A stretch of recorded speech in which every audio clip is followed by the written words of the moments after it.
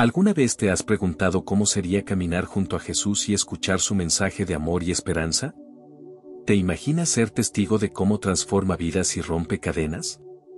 En el Evangelio de hoy, descubriremos cómo, más allá de sus discípulos, muchas mujeres valientes dejaron todo para seguirlo y servirlo.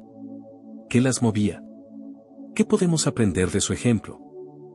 Lectura de la primera carta del apóstol San Pablo a los Corintios.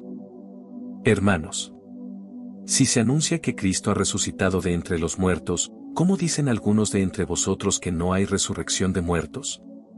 Pues bien, si no hay resurrección de muertos, tampoco Cristo ha resucitado. Pero si Cristo no ha resucitado, vana es nuestra predicación y vana también vuestra fe, más todavía, resultamos unos falsos testigos de Dios, porque hemos dado testimonio contra Él, diciendo que ha resucitado a Cristo, a quien no ha resucitado, si es que que los muertos no resucitan. Pues si los muertos no resucitan, tampoco Cristo ha resucitado, y, si Cristo no ha resucitado, vuestra fe no tiene sentido, seguís estando en vuestros pecados, de modo que incluso los que murieron en Cristo han perecido. Si hemos puesto nuestra esperanza en Cristo solo en esta vida, somos los más desgraciados de toda la humanidad, pero Cristo ha resucitado de entre los muertos y es primicia de los que han muerto. Salmo responsorial. A cada estrofa del Salmo respondemos, al despertarme saciaré de tu semblante, Señor. Señor, escucha mi apelación. Atiende a mis clamores. Presta oído a mi súplica. Que en mis labios no haya engaño. Al despertarme saciaré de tu semblante, Señor. Yo te invoco porque tú me respondes, Dios mío. Inclina el oído y escucha mis palabras muestra las maravillas de tu misericordia. Tú que salvas de los adversarios. A quien se refugia a tu derecha. Al despertar me saciaré de tu semblante, Señor. Guárdame como a las niñas de tus ojos. A la sombra de tus alas escóndeme. Yo con mi apelación vengo a tu presencia. Y al despertarme saciaré de tu semblante. Al despertarme saciaré de tu semblante, Señor. Lectura del Santo Evangelio según San Lucas. En aquel tiempo, Jesús iba caminando de ciudad en ciudad y de pueblo en pueblo, proclamando y anunciando la buena noticia del reino de Dios, acompañado por los doce y por algunas mujeres, que habían sido curadas de espíritus malos y de enfermedades, María la Magdalena, de la que habían salido siete demonios, Juana, mujer de Cusa, un administrador de Herodes, Susana y otras muchas que le servían con sus bienes. Compartamos una reflexión sobre la lectura del día de hoy.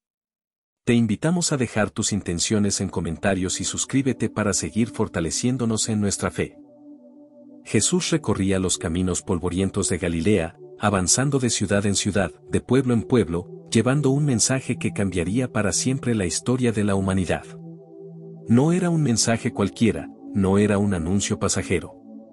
Era la buena noticia del reino de Dios, un mensaje que resonaba en los corazones de quienes lo escuchaban con una fuerza transformadora.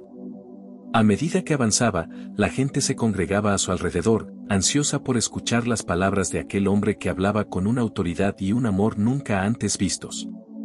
Acompañándolo, no solo iban sus doce discípulos, esos hombres que habían dejado atrás sus vidas cotidianas, sus oficios y sus familias, para seguir al Maestro en su misión divina. También lo seguían mujeres. Mujeres valientes, mujeres que habían experimentado en carne propia el poder sanador de Jesús. Eran mujeres que habían sido liberadas de espíritus malignos y enfermedades, mujeres que habían sido tocadas en lo más profundo de su ser por la compasión y el amor de Dios hecho hombre. Entre ellas estaba María Magdalena, una mujer de la que se dice que Jesús había expulsado siete demonios.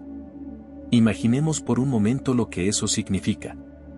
La opresión, la desesperación, el dolor que debía de haber soportado, prisionera de fuerzas que la alejaban de su propia humanidad. Y luego, en un instante de gracia, su encuentro con Jesús. Un encuentro que la liberó, que la restauró, que la devolvió a la vida. María Magdalena es símbolo de esperanza, de la posibilidad de redención para todos.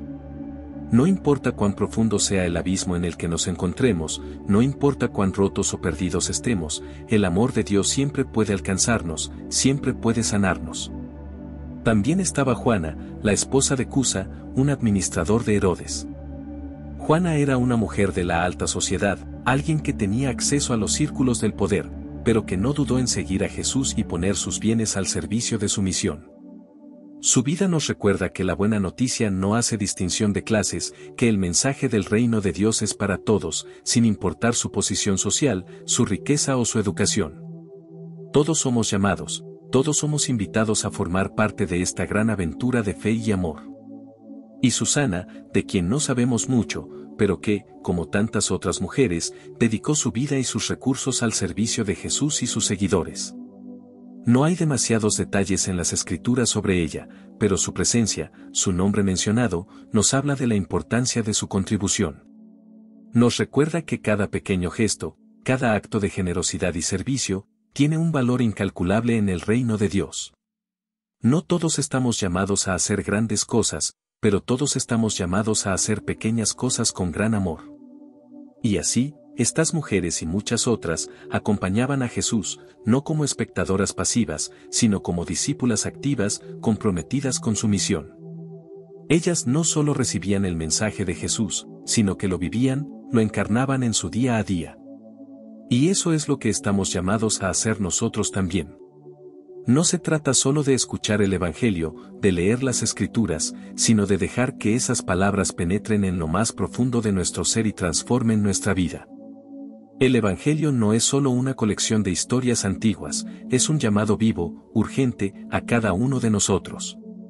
Es un llamado a salir de nuestras zonas de confort, a dejar atrás nuestras seguridades, nuestras rutinas y a embarcarnos en la gran aventura de seguir a Jesús. Es un llamado a amar sin reservas, a servir sin condiciones, a entregarnos por completo a los demás. Cada uno de nosotros tiene su propia historia, su propio camino. Quizás hemos pasado por momentos difíciles, por pérdidas, por sufrimientos que nos han dejado marcas profundas. Tal vez hemos experimentado la soledad, la desesperanza, el miedo. Pero el mensaje del Evangelio es que no estamos solos, que hay un Dios que nos ama más allá de lo que podemos imaginar, que nos busca, que nos llama, que quiere sanar nuestras heridas, liberarnos de nuestras cargas, darnos una vida nueva. Jesús camina con nosotros, como caminó con aquellos hombres y mujeres hace dos mil años. Él nos conoce, conoce nuestras luchas, nuestros miedos, nuestros sueños. Y nos invita a seguirlo, a confiar en Él, a dejarnos transformar por su amor. No importa quiénes seamos, no importa de dónde vengamos, no importa cuán imperfectos o rotos nos sintamos. Él nos llama a todos, nos acoge a todos, nos ama a todos. A menudo pensamos que para ser discípulos de Jesús necesitamos ser perfectos, no cometer errores, tener una fe inquebrantable. Pero eso no es cierto. Los discípulos que acompañaban a Jesús eran hombres y mujeres con sus propias debilidades, con sus dudas, con sus caídas. María Magdalena, Juana, Susana, los doce, cada uno tenía su propia historia, sus propios desafíos. Pero lo que los unía, lo que los hacía especiales, no era su perfección, sino su disposición a dejarse transformar por el amor de Dios, su valentía para seguir a Jesús, su generosidad para servir a los demás. Y ese es el mismo llamado que se nos hace hoy. No se nos pide ser perfectos, se nos pide ser auténticos. No se nos pide no fallar, se nos pide levantarnos cada vez que caemos. No se nos pide saberlo todo, se nos pide confiar, abrir nuestro corazón, estar dispuestos a aprender, a crecer, a dejarnos guiar por el Espíritu Santo. El reino de Dios es un reino de amor, de justicia, de paz. Es un reino que comienza en nuestros corazones y se extiende a nuestro alrededor a través de nuestras acciones, de nuestras palabras, de nuestra manera de relacionarnos con los demás. Cada gesto de amor, cada acto de servicio, cada palabra de aliento, cada sonrisa compartida, es una semilla de ese reino que va transformando el mundo, que va construyendo una realidad nueva, más humana, más fraterna, más conforme al sueño de Dios para nosotros. Jesús nos llama a ser sembradores de esperanza, a llevar su luz a los rincones más oscuros, a ser instrumentos de su paz en un mundo que tanto la necesita. Nos llama a ser sus manos, sus pies, su voz. Nos llama a ser su presencia viva en el mundo de hoy. A veces, eso puede parecer una tarea abrumadora. A veces, podemos sentirnos pequeños, insignificantes, incapaces de hacer una diferencia. pero recordemos que no estamos solos. Jesús camina con nosotros. Su espíritu nos fortalece, nos guía, nos inspira. Y no se trata de hacer grandes cosas. Se trata de hacer lo que podamos, donde estemos, con lo que tengamos. Se trata de vivir con coherencia, de ser auténticos, de dejar que el amor de Dios fluya a través de nosotros en cada situación, en cada encuentro. Se trata de ser luz en la oscuridad, de ser sal que da sabor, de ser levadura que transforma la masa. El Evangelio es una invitación a la alegría, a la esperanza, a la plenitud de vida. Es una invitación a confiar en que, a pesar de las dificultades, a pesar de los desafíos, a pesar de las sombras, hay una luz que nunca se apaga, un amor que nunca nos abandona. Es una invitación a caminar con Jesús, a dejar que Él nos guíe, nos transforme, nos haga más humanos, más compasivos, más generosos. Como María Magdalena, como Juana, como Susana, estamos llamados a seguir a Jesús con valentía, con amor, con gratitud. Estamos llamados a ser testigos de su amor en el mundo. Estamos llamados a ser, cada uno a su manera, instrumentos de su paz, de su justicia, de su misericordia.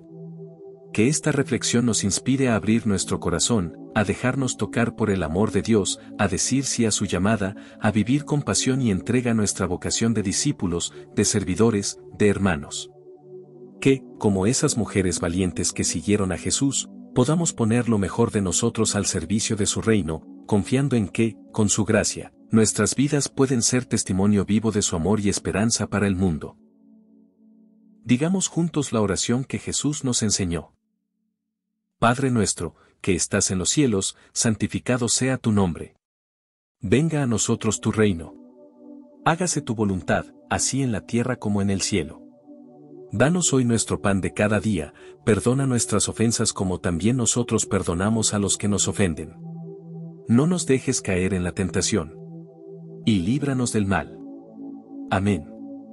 Gloria al Padre, al Hijo y al Espíritu Santo, como era en el principio, ahora y siempre, por los siglos de los siglos. Amén.